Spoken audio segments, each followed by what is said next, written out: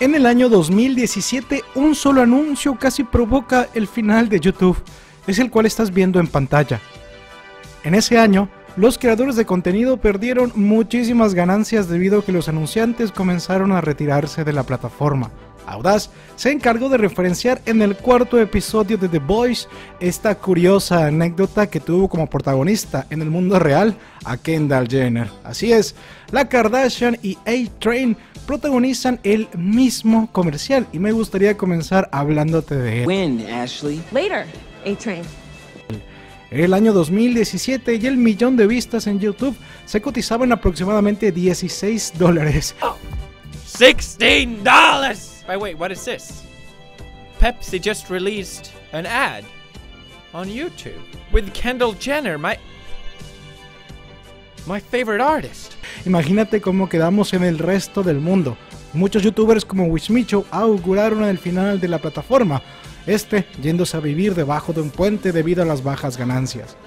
Ambos comerciales van de lo mismo. A-Train y Kendall Jenner se encuentran en una fotosesión para una publicidad. Y ambos, al ver a varios protestantes en la calle, deciden que eso es más importante.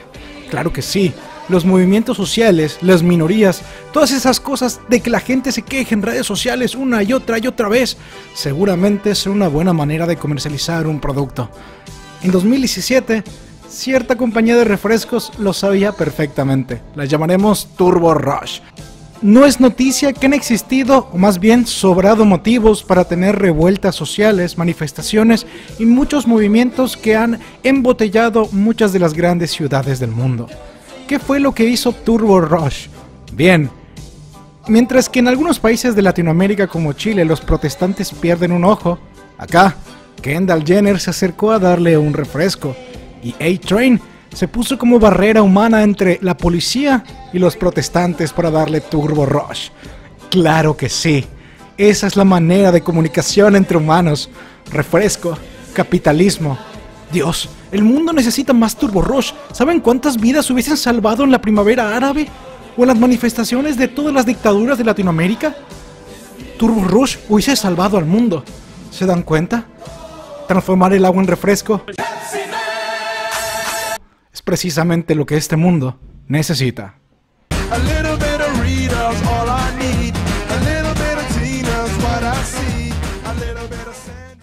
No mames, qué pinche teoría fumadota me voy a tirar acerca de los poderes de Butcher y su relación con Homelander. Ah, cabrón, pinche Huey. Al final del cuarto episodio de la tercera temporada de The Voice, tuvimos uno de los momentos más tensos cuando Huey y Butcher despiertan sus poderes con el compuesto B temporal. Después de recibir una descarga directamente del poder de Soldier Boy, Kimiko no se está curando. Esto preocupa a todo el equipo. Yo creo que podría haber una explicación bastante intensa detrás de esta escena, sobre todo con cómo los poderes podrían estar creando cierta interferencia aunque tampoco hay que descartar que el poder de Soldier Boy simplemente dejó muy mal herida a Kimiko. Pero para tirarte en mi teoría de Homelander y Butcher, primero tengo que explicar cómo aparentemente Huey está creando una interferencia con la regeneración o curación de Kimiko. Al utilizar sus poderes, Huey sanó su brazo que había sido quebrado precisamente por Kimiko, quedando únicamente el yeso que era firmado por Homelander. Esta me parece una pista bastante intensa, al final del episodio, Kimiko está agonizando y Huey está en las nubes moviendo su brazo recién curadito. Me parece que Huey le está quitando un poco de wifi.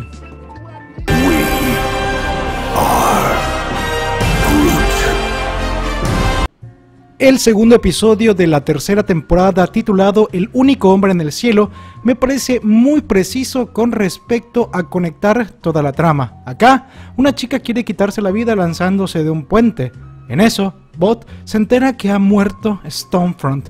Tormenta fue el interés amoroso durante la segunda temporada de Homelander, y enterarse de su muerte el aparente día de su cumpleaños, sin duda le afecta. Como muchos ya saben, provocará finalmente la muerte de la chica, haciendo que salte del edificio, no sin antes explicar por qué es el único hombre en el cielo. Triste por la muerte de su compañera el día de su cumpleaños, bueno, explica que en realidad ese no era su cumpleaños. Homelander no puede tener un cumpleaños. Él no nació de una mujer. no vino al mundo tal cual como todos nosotros. Fue una concepción inmaculada en un laboratorio. Él mismo se compara con Jesucristo, que como saben, María recibió la noticia por parte de un ángel de que estaba embarazada del Mesías, y a su vez, una de sus familiares, que ya era bastante mayor para tener un embarazo, también quedó preñada. Así, Homelander comienza a verse a sí mismo como algo ajeno a la humanidad, siendo precisamente esa su debilidad, su infancia. Incluso los científicos que lo crearon tratan de apelar a sus emociones, tratándolo aún como un niño abandonado y huérfano en un laboratorio. Homelander desarrollaría cierta manía o cierto trauma con su figura paterna. Como saben, la segunda temporada estuvo marcada por el hijo de Homelander con Becca, desde sus inicios, Homelander como un producto exitoso de Bot fue anunciado a los padres y a los niños les decía que jugaba en la serie mundial con su padre, entre otras mentiras para ocultar las torturas por las cuales había pasado para despertar todas sus habilidades. Incluso, en los medios de comunicación, Homelander era un chico americano común y corriente que pues simplemente recibió sus poderes. Había ido a la escuela, había tenido compañeros, ah, era raro que nadie lo conozca, ¿cierto? Bueno, aparentemente Homelander fue una persona común, era un americano como todos nosotros. Sin embargo, acá es donde entra Ryan. Ryan es el hijo de Homelander con quien fuese el interés amoroso de Billy Butcher. Ryan es importante porque ha heredado los poderes de Homelander. Él es un metahumano, pero se le crió como un niño común y corriente. Él no sabía ni de la existencia de Homelander ni de absolutamente nada relacionado con ello. Había crecido como hijo de su madre únicamente. De ahí que no tuviese noción de sus poderes. Intentando ser un padre o quizás hasta revivir su infancia a través de Ryan, Homelander poco a poco comienza a invadir la vida de Becca, con quien únicamente tuvo una aventura. Bot había simplemente ocultado el hecho de que él tuvo un hijo porque era imposible, ya que como puedes ver, el hijo aparentemente destruía el vientre de su madre antes de nacer. Los poderes se convertían en algo peligroso al momento de gestar. Sin embargo, Ryan fue una gestación exitosa, una que claramente representaba un activo muy valioso para la compañía. La diferencia es que Homelander era un experimento, los poderes hecho persona, pero Ryan era una persona que nació con poderes. Becca es un personaje importante porque conecta al protagonista y al antagonista de esta tremenda serie, a Butcher y Homelander. Ella, después de su aventura al ser trabajadora de Bot, pues desapareció para tener al niño. Yo intuyo que existió algo detrás de este embarazo, sobre todo porque ella trabajaba en el mismo sitio. Otro elemento y otra manera de verlo es que Billy Butcher no tenía poderes. En parte, el nacimiento de un hijo entre ambos pues no iba a ser nada especial. Una manera que quiero compartirte de verlo es la del cómic de Miracle Man, que es buenísimo. Incluso Alan Moore participó en el desarrollo de esta historia. Un hombre de mediana edad que en realidad está bastante decepcionado y aburrido de la vida. Es un trabajador como cualquiera. Lleva casado unos 15 años y no ha podido tener hijos con su esposa. Sin embargo, en el pasado, hace más de 30 años, Michael Moran era Miracle Man. Acompañaba a Young Miracle y a Kid Miracle. Juntos eran la familia Miracle Man, las tres etapas del hombre, niño, joven y finalmente un hombre. Debido a un accidente en una misión en el espacio, la versión joven desapareció y Mr. Miracle desapareció para siempre. Michael Moran despertó sin recordar cómo transformarse en aquel superhéroe. Después de más de 10 años casado, Michael Moran vuelve a ser Miracle Man y adivina qué. Visita a su esposa y le embaraza en una sola noche. Lo que no pudo hacer en casi toda una vida y un matrimonio siendo un humano común, lo hizo en apenas una noche siendo un metahumano conocido como Miracle Man. Ni siquiera había envejecido, incluso era más joven que su forma humana. Pero, oh, sorpresa. Miracle Man era únicamente su transformación. Él volvía a ser Michael Moran de casi 50 años y estaba celoso de que su esposa estuviese embarazada de su alter ego con poderes. Sufría bastante por no sentirse tal cual él mismo. Así comenzará a desarrollarse esta historia en la que un laboratorio también estaba al pendiente del increíble nacimiento de este metahumano y cómo había ocurrido esta concepción.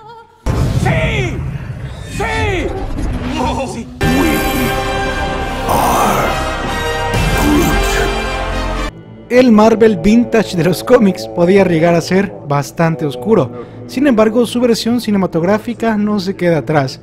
Te daré el ejemplo de los Guardianes de la Galaxia, en la que Kurt Russell, que por cierto, las últimas palabras de Walt Disney, a quien pertenece Marvel, fueron Kurt Russell. Bueno, él da vida a Ego, el planeta viviente. Él era literalmente poderes que formaron un planeta y formaron toda la vegetación. Esta película, que por cierto Hajime Isayama, que si no lo mencionamos en mi canal, no es mi canal, mencionó en 2017 que también le encantó esta película. Ego era energía cósmica que formó una conciencia. Esa conciencia formó un planeta, vegetación, vida y un cuerpo humano.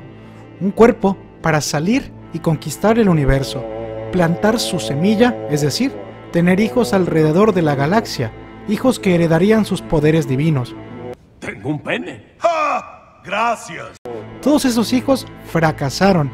Ninguno heredó los poderes de su padre hasta que llegó Peter Quill Ego, así como tuvo a Brandy, la madre de Peter, tuvo a muchísimas otras esposas. Para Ego, tener vida era conservar el poder, no era crear algo hermoso en el universo. De hecho, terminó matando a la madre de Peter con cáncer.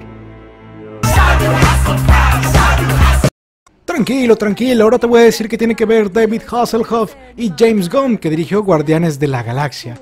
La primera aparición de Soldier Boy, pues de manera prolongada, se dio mientras interpretaba una canción de Blondie, imitando un poco el estilo de uno de los extras de esta película de Guardianes de la Galaxia Volumen 2, la cual, como te dije, fue dirigida por James Gunn, quien al final de Peacemaker, su serie para HBO y DC, hizo un cameo bastante intenso de la Liga de la Justicia.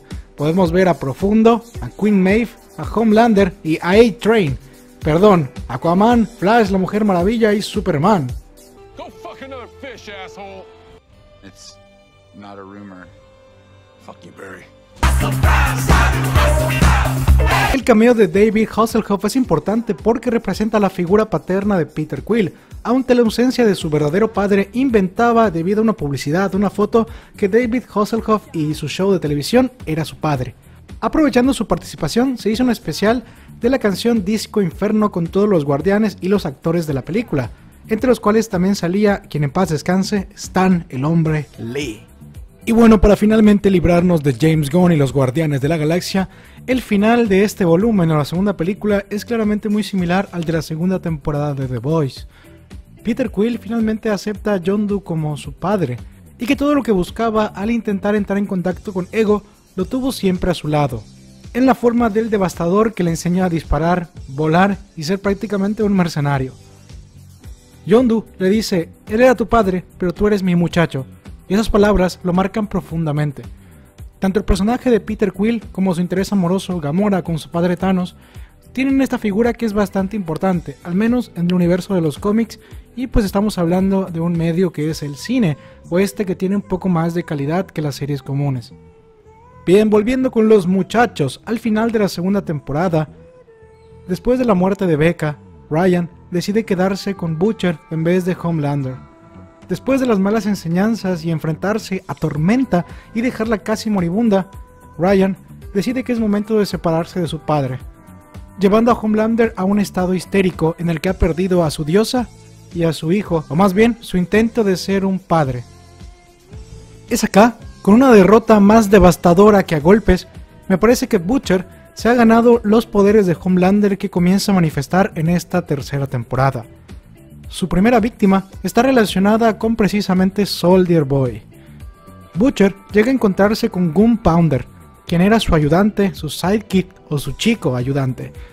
Gunpowder es asesinado por un Butcher que no puede controlar sus poderes y que parte a la mitad su cráneo y un auto que está detrás de él siendo la primera vez que utilizaba el compuesto B temporal de 24 horas, manifestando las habilidades de Homelander, o unas muy similares. En unas instalaciones soviéticas se encuentra el cuerpo de Soldier Boy, quien Gunpowder le dijo a Butcher que había muerto hace mucho tiempo. A pesar de que su traje se parece al del Capitán América, en realidad es una referencia al Soldado del Invierno, que hacen todo más similar a lo que hacían con Bucky para manipularlo, Bucky, originalmente en los cómics de Marvel, así como Miracle Man, era su sidekick, era su ayudante, el chico. Sin duda, la versión cinematográfica ha distado bastante de eso. Sin embargo, ambas tramas con el suero de super soldado que dio origen a Bucky al soldado del invierno están relacionados profundamente con los nazis. El Capitán América surgió pues para combatir a la Alemania nazi del Tercer Reich.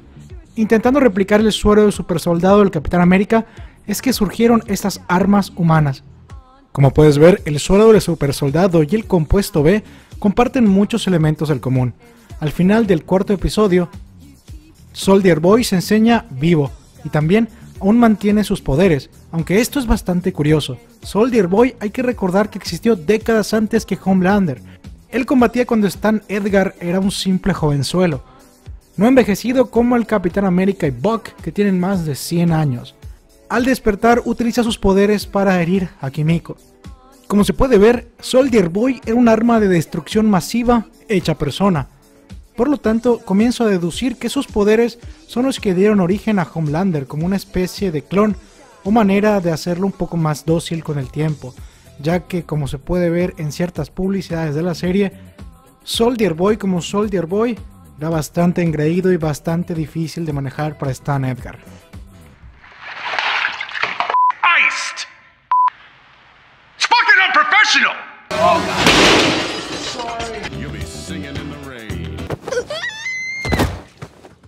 El despertar de Soldier Boy, a diferencia de Countess Crimson, es decir, la que es como Wanda, que únicamente está en los parques tipo Disney, él realmente tiene poderes destructivos. Como te dije, parece un arma de destrucción masiva hecha persona.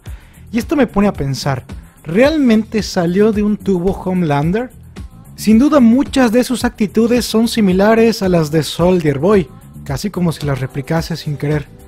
Entonces, ¿qué pasaría si Soldier Boy fuese la fuente de los superpoderes?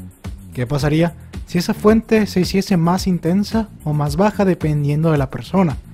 Yo creo que es un elemento interesante el que The Voice ha creado artísticamente con las figuras paternas y maternas. Pero ese será tema de otro video. Hasta aquí llegamos al final y recuerda...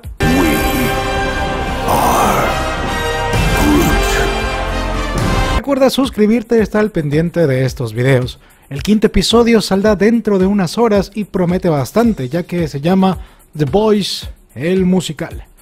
Nos estamos viendo y gracias por llegar al final del video.